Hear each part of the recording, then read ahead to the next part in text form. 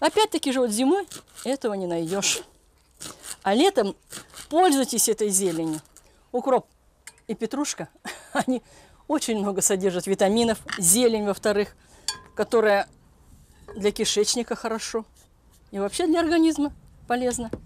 Добавляем ложечку масла туда. И ставим сковородку на печку.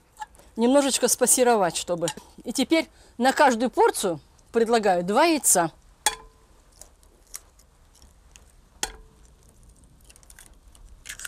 Или можно поставить в духовку, или на печку, закрыть крышкой.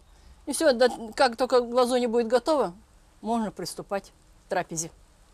И представляете, утром на даче проснулись, петрушки нарвали, укропа нарвали, два яйца и прекрасный завтрак, полезный, витаминизированный, который зимой вы никогда не попробуете.